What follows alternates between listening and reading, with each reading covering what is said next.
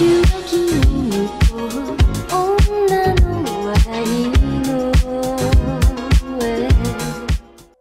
are some times when you think that you're looking at a piece of art, but really you're looking at a piece of garbage. Hey, my name is Pinkas and I'll be your internet guide this evening. In my previous video, I clearly separated outrun and vaporwave aesthetic. Two genres that tend to get mixed when it comes to visual artwork. But there is another aesthetic genre that tends to get put in the mix, especially when you look at vaporwave. For some reason, vaporwave and lo-fi have become more and more associated with each other during the last few years. One might even say that the lines have become a little blurry. So once again, it has come to me to differentiate these two visual aesthetics and try to put some labels and boxes on things. My first experience with the lo-fi aesthetic was through my Instagram. I would often check out the tag vaporwave aesthetic and see what kind of creations that other artists were making. But way too often I found art and GIFs that didn't necessarily fit the Vaporwave brand, they were something else. Slow hip hop edits with quotes from movies or TV shows, often with a heavy VCR filter and tags like sad boys, trash, and Tumblr aesthetic. Some of these were pretty close to being associated with the Vaporwave, others were a completely different entity. Lo-fi as a musical genre can be traced all the way back to the 50s, with small rock bands recording music in their garage with low quality equipment. This led to audible imperfections on the final record that while seen as a bad thing during this time period, became an active style choice in the early 90s. Beck and Guided by Voices being two of the artists that made it into the mainstream and introduced it to the masses.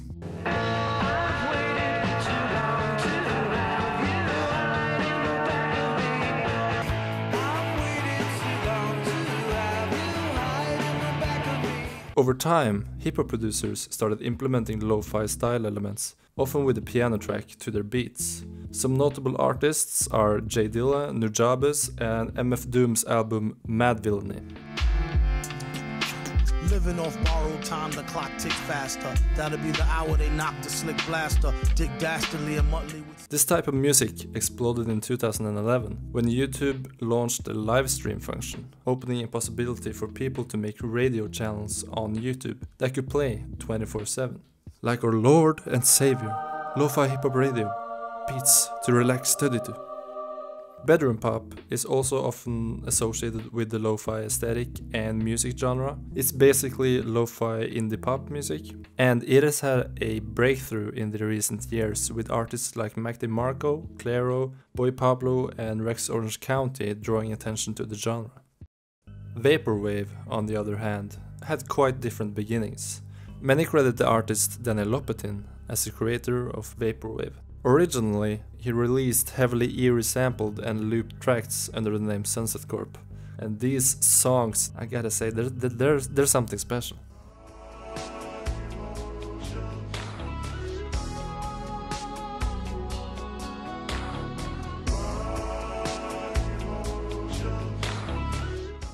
The samples were taken from popular songs and slowed down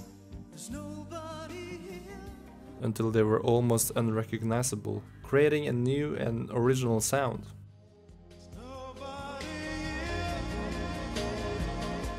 It sounded like something you would hear at a mall or elevator music. In 2010, he came out with the album Chuck Person's Echo Jams Volume 1, considered by many as the birth of vaporwave. Many artists would be inspired by this release, most importantly James Ferraro releasing Far Side Virtual and Macintosh Plus Floral Shop. These releases, along with their artwork, would define the vaporwave aesthetic. Retro commercials, computer graphics, statues, and Japanese text. One could say that the vaporwave and lo-fi music are in a small way similar genres. They are both heavy on samples and both can be considered subgenres of chillwave and they both embrace lo-fi sound effects like record scratching, skipping and sound of cassette players. Over time, vaporwave would however spawn multiple subgenres like future funk, soft and VHS pop. But that's enough about the music, let's get back to what's really important. The aesthetic. Once again, we have a Venn diagram and this time I made it myself so you know I'm kinda I'm kinda feeling myself right now. It's in the middle here that these two genres cross over and I believe that this area is the root of the mix-up. Let's start on the border here with Lisa Simpson who I found the hardest to place. You've probably heard of Simpson Wave, a genre of music videos that originated from this Vine back in 2015. A clip of Bart and friends riding down in the sunset with Home's resonance in the background. And that, that was it.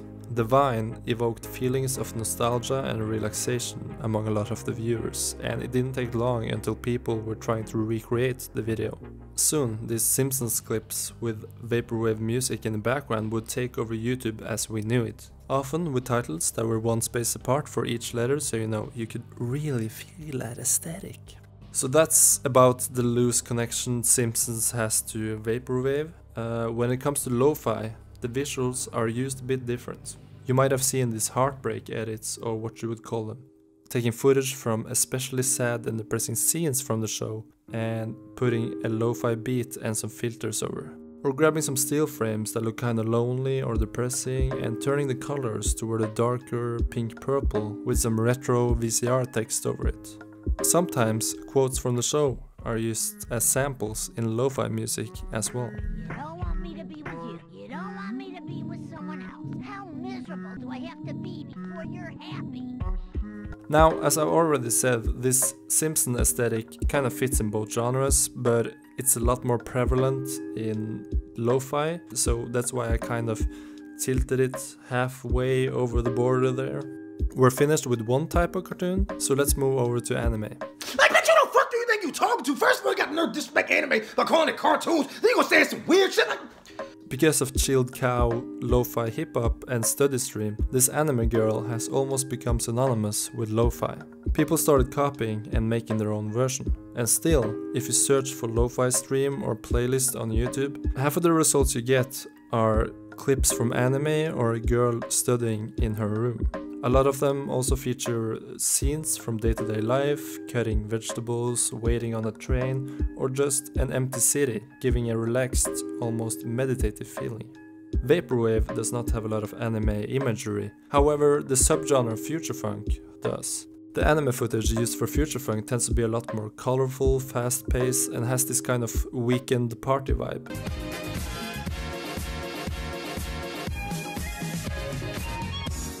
Whereas lo-fi is more of a casual weekday. I guess one could say that both genres have taken big inspirations from Japanese culture, whether it's the anime roots of lo-fi hip-hop or the fact that every song in Macintosh Plus Floral Shop is named in Japanese, along with Future Funk's strong sample use of Japanese pop songs from the 80s and early 90s. Over on the lo-fi side, we also have this low quality picture of a girl with some cool sunglasses. This is taken from a video series called The Metro by Kino Probi Paris, a media project based in Russia, Belarus or Paris I think. I'm not sure, I tried my best to stalk them, they don't really answer those type of questions. The videos are shots of actors or models acting out a short scene in a subway station. People started downloading these clips and re-uploading them to social media with added lo-fi music and editing. The rapper Younger One also has visuals from this series in his music videos, sitting at around 3 million views combined. Time flies by in a wink of an eye. I still find me wishing you Martian, you speaking under the sunshine, under the sunshine. The Metro series is shot found footage style from what appears to be a low quality security cam looking over the metro. There is something to this old low quality look that makes the images feel real in comparison to Vaporwave's very fake aesthetic. In Vaporwave, we try to create a fake reality, a utopia inspired by what advertising companies think our dreams and fantasies look like. Lo-fi aesthetic is kind of a counter movement, focusing more on real and tangible things, often with a flair of illegality to it. Either it's smoking, doing drugs, or nudity and violence, kind of like a raw and uncut slice of our daily lives. This also includes the heavily filtered picture on the bottom left there. Snippets of real life with some added text that often takes on some depressive or nihilistic quote. Even though these images are mostly related to the lo-fi aesthetic, they most certainly cross over to vaporwave as well. But then with some vaporwave elements like the aforementioned statues, computer graphics and glitches. Vaporwave art rarely consists of real life pictures unless they are from commercials made in the 80s or 90s. It's all about the fantasy and future that we never got, as we philosophers like to say. The three essential elements of the vaporwave aesthetic are retro technology, consumerism, and Greek slash Roman statues. There you have it, that's vaporwave explained in 8 seconds. You're welcome.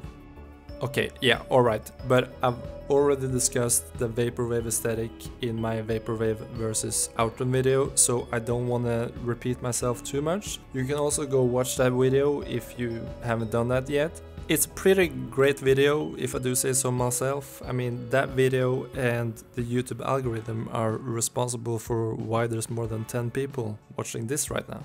The Vaporwave aesthetic is all about the nostalgic love we have for old commercials and Windows 95 Space Cadet. One of the greatest video games of all time, up there with Mario 64, Ocarina of Time, Witcher 3. This game has some of the most memorable sound effects of all time. And intense gameplay that will keep you sitting for hours on end. That's enough about me and the limited game library I had in my childhood. Memes are also a big part of Vaporwave. If your Vaporwave picture isn't Vaporwave enough, just add more statues, Fiji water and have them kind of mirror themselves on the side here while you have some grid in the back. There you go, you got some serious award-winning Vaporwave art.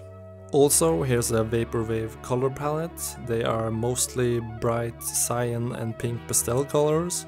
Lo-fi color usage tends to be more muted colors like these. Black and purple are definitely also two colors that tend to repeat themselves within the lo-fi aesthetic. I'm not sure how related they are, but there are some subgenres called sad boy aesthetic and or trash aesthetic. They both pull from lo-fi and some from vaporwave as well. In my opinion, they both have stronger ties to lo-fi and might be called subgenres of the lo-fi aesthetic. These are the edits that you see around Instagram, often with some SoundCloud rap over it. I'm not sure where to put this stuff, so you know I'm just gonna have it kind of like on the side here and over by there. I think we can say that there is a lot of crossover here, and I'm pretty sure that's because there are a lot of people who like both genres. And I am definitely part of the problem because after discovering the lo-fi aesthetic and seeing that it had a lot of similarities with the vaporwave, I started hashtagging my posts with lo-fi and lo-fi aesthetic to get those extra clicks. There's definitely overlap within the genres, but also big differences. They both tend to use these VCR filters and are really inspired by the 90s in particular, and you often see vaporwave music with a lo-fi visual or vice versa. In the end, I guess you could say, who really cares about this stuff anyways, and yeah, you'll probably have a point, but I care, at least enough to make this video. And if you want to hear me rant and discuss more about these aesthetics, be sure to subscribe to my channel and check out my other videos as well. I've also launched a Patreon recently that you can check out if you feel like supporting me. There's a Discord and access to a lot of my art as well as getting thanked at the end of each video like these two awesome dudes. There's only four of us on the Discord right now but you know a four man party is a pretty great party. Anyways, I hope you liked the video, thank you for watching and uh, that's about it. Stay safe out there kids.